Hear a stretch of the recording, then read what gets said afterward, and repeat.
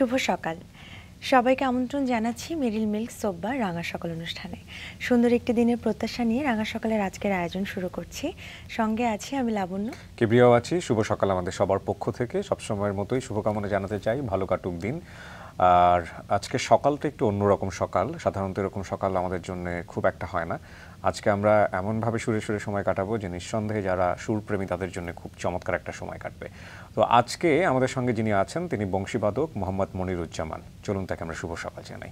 শুভ সকাল। শুভ সকাল। আপনার মতো একজন গুণী যন্ত্র সংগীত শিল্পীকে আমরা আজকে এখানে পেয়েছি এবং এত এত ইনস্ট্রুমেন্ট নিঃসন্দেহে আমাদের কথার চেয়ে আমরা বেশি পরিবেশনাতেই থাকব। প্রথম কোনটা শোনাচ্ছেন আমাদেরকে? প্রথমে আমি ললিতের উপরে শোনাই। যেহেতু সকাল জি। রাঙা সকাল সকালে সকালে রাগ দিয়েই শুরু করি। তারপরে আমার অনেক রকম ইনস্ট্রুমেন্ট আছে তো সেই থেকে আমি একটু একটু একটু করে বাজাই শোনাবো। জি জি নিশ্চয়ই নিশ্চয়ই। শুরু করুন আপনি। শুরু করি হুম। হ্যাঁ।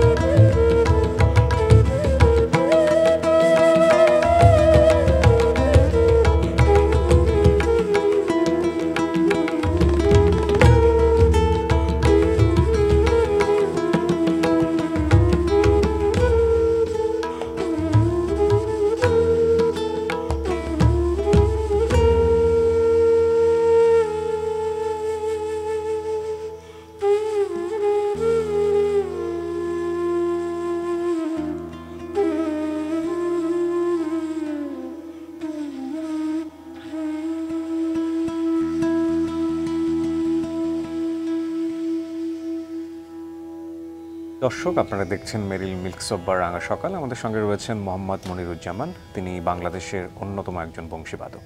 পারিবারিক সূত্রেই তিনি বাঁশিবাদনে আগ্রহী হয়ে ওঠেন। বাবা বাঁশিবাদক ওস্তাদ আব্দুর রহমানের কাছে বাঁশি বাজানোর শিক্ষা গ্রহণ করেন। সত্তর দশকের শুরুর দিকে রেডিও বাংলাদেশে যোগ দেন। উনিশশো উনআশি সালে জাতীয় পারফর্মিং আর্টস একাডেমিতে যন্ত্রশিল্পী হিসেবে যোগ দেন।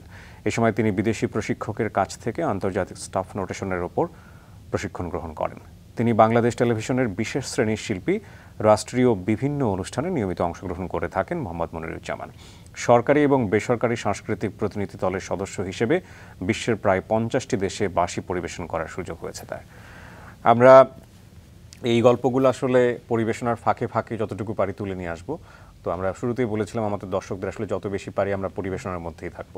এ পর্যায়ে কি শোনাচ্ছেন আপনি আমাদেরকে? এখন আমি সিলভার ফ্লুটে মোজার্টের একটা সিম্ফনি শোনা। জি শিওর নিশ্চয়ই। কারণ এত অল্প মানুষ দিয়ে তো হয় না। এটার জন্য অ্যারেঞ্জমেন্ট লাগে। একা যতটুকু পারি চেষ্টা করি।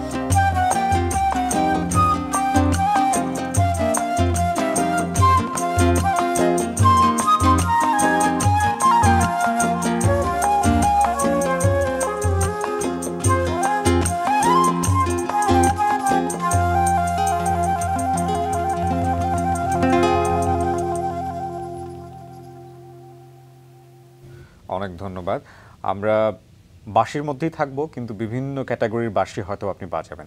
আমি প্রথমেই প্রশ্নটা করতে চাই যে কয় ধরনের বাঁশি সাধারণত আপনি বাজাতে পারেন? আমি আমার কাছে সর্বমোট মনে পনেরোটার মতন বাঁশি আছে ভেরিয়েশন ফ্লুট ভ্যারিয়েশন দিক থেকে মানে এগুলো দেশি প্লাস আন্তর্জাতিক? আন্তর্জাতিক। আচ্ছা তো এতগুলো মানে কি আগ্রহ বসে শিখলেন নাকি শিখতে হয়েছে? না এটা আমার এগুলোর প্রতি টোনাল কোয়ালিটির প্রতি আমার একটা বিশেষ দুর্বলতা ছিল। আচ্ছা। আচ্ছা। যেই কারণে মনে হয় যে যে কোনো যেমন মনে করেন যে তবলা যদি আমি বাজাতে পারতাম আমার কাছে মনে হচ্ছে হচ্ছে যে আমার কাছে ভালো লাগতো। ও আমার থেকে অনেক জ্ঞানী। জ্ঞানী বলা বলা বলি বলব কি যে ও তো আমার থেকে একটা জিনিসে বেশি দক্ষতা অর্জন করছে। কারণ ও তো বাঁশি শিখে নেই ও তবলা শিখে তবলার উপরে মাস্টার গিটারের উপরে সে মাস্টার। কিন্তু টোনাল কোয়ালিটি এত ভালো লাগে জানি না কেন জানি আমাকে যে কোনো একটা সাউন্ড আমাকে আকৃষ্ট করে। বাহ অসাধারণ। আমরা পরের পরিবেশনে যাই কি শোনাবেন আমাদেরকে? আমি যেহেতু মোজার্টারে একটা শোনালাম আমি একটা ফোক ধুন শোনাই। ঠিক আছে। বাঁশিটি ঠিক আছে।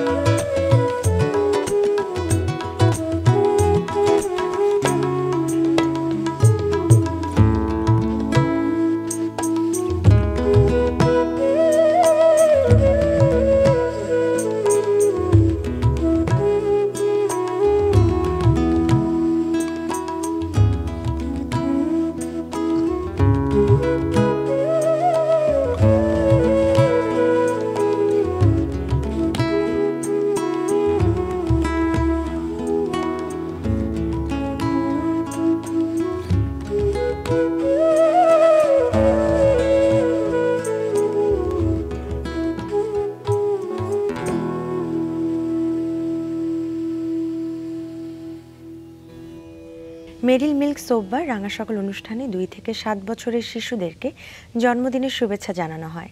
আগ্রহী অভিভাবকগণ জন্মদিনের সাত দিন আগে শিশুর ছবি, নাম, যোগাযোগের ঠিকানা, জন্মসনদের অনুলিপি ও ফোন নাম্বার পাঠিয়ে দিন এই ঠিকানায়। প্রযোজক রাঙা সকাল, মাছরাঙা টেলিভিশন, দুই বীরুত্তম জিয়াউর রহমান রোড, বনানী ঢাকা এক দুই এক। এছাড়া ইমেল করতে পারেন আর A N G S H O K L Ranga Sokal at Maasranga dot TV এই ঠিকানায়। দর্শক, আজ আমাদের সঙ্গে আছেন বংশীবাদক ওস্তাদ মোহাম্মদ মনিরুজ্জামান। তার পরিবেশনা আবারও ফিরে যাচ্ছি আমরা। স্যার, আমরা পরিবেশনায় ফিরে যেতে চাই। তো এ পর্যায়ে কি শুনব? এই পর্যায়ে আমি এক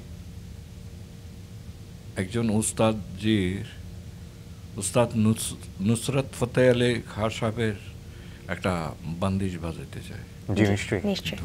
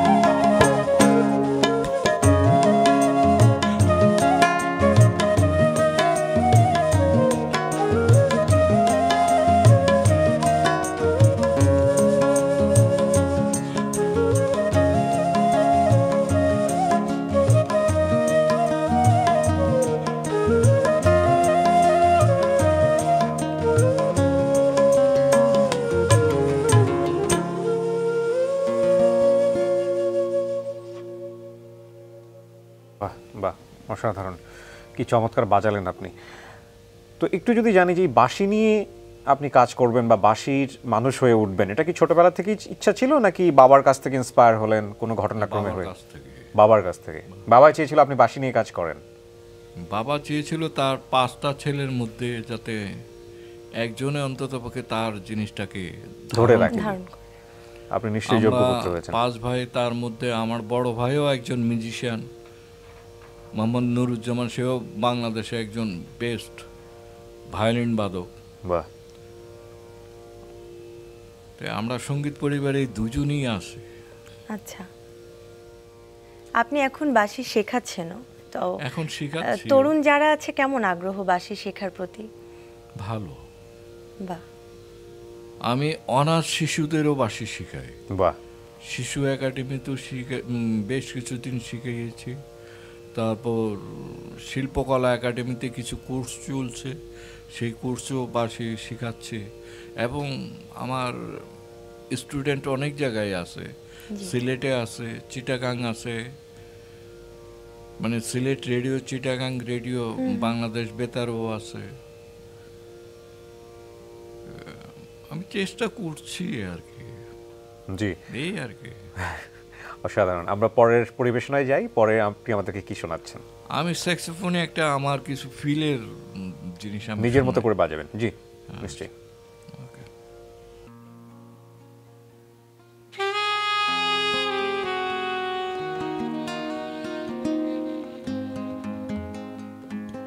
Mm-hmm.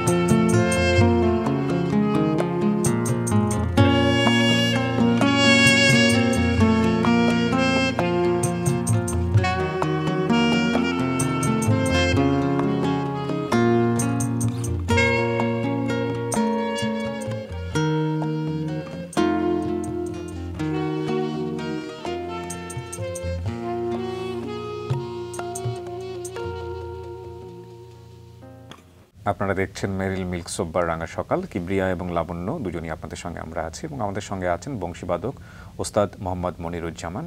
তার অনবদ্য পরিবেশনায় আমরা আবারও ফিরব। আমরা অশেষ কৃতজ্ঞতা এবং ধন্যবাদ জানাচ্ছি যে আজকে সকালবেলা আমরা আপনাকে পেলাম। আপনার মতো একজন গুণী মানুষ, বাংলাদেশের সঙ্গীতাঙ্গনকে অনেক বিসমৃদ্ধ করেছেন আপনি। পরবর্তী পরিবেশনায় যাওয়ার আগে আপনার সঙ্গে যারা এতক্ষণ বাজাচ্ছে, তাদেরকে যদি একটু পরিচয় করিয়ে দিতেন দর্শকদের সাথে। আমার সাথে যারা কোম্পানি করছেন, তারা হলো ডলার তবলায় পাকুয়াজে সুসেন গিটারে শুভ আর পাশে তানপোড়া বাজাচ্ছে মমিতা জামান অন্না ও আমার মেয়ে। জি। তাহলে আমরা শুরু করি। এবার কি শোনাচ্ছেন আমাদেরকে? এবার আমি বায়ু নিষ্কাশনের মানে বাঁশির যে লাস্ট পর্যায়ে যে যতটুকু আসছে সেটি একটা অ্যারোফোন হিসাবে এটা আসছে। এটা মিডি ডিভাইস এবং ইলেকট্রনিক ডিভাইস তো অবশ্যই। এটার ভিতরে বিল্ট ইন টোন একশো আছে একশো সেভ করা যায় এবং মিডি মিডি দিয়ে এটা বাজানো যায়। এবং অ্যাকোস্টিক বলা হয় যে অ্যাকোস্টিক প্রায় হান্ড্রেড পারসেন্ট তারপরে অ্যাকোস্টিক হয় না তো কিছু না কিছু গ্যাপ থেকে যায়। তাই এটি আমি অ্যাডাফোন বাজাবো। জি নিশ্চয়ই শুনি। শুনি আমরা।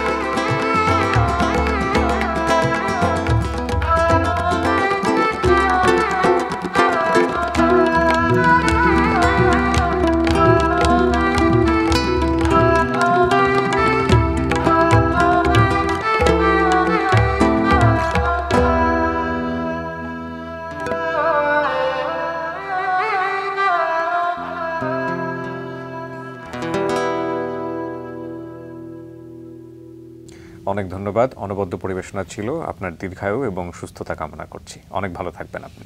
আমিও মাছরাঙ্গা টেলিভিশনকে ধন্যবাদ জানাচ্ছি এবং আপনাদেরকেও ধন্যবাদ জানাচ্ছি যে আমাকে এইভাবে সকালে নিয়ে আসার জন্য।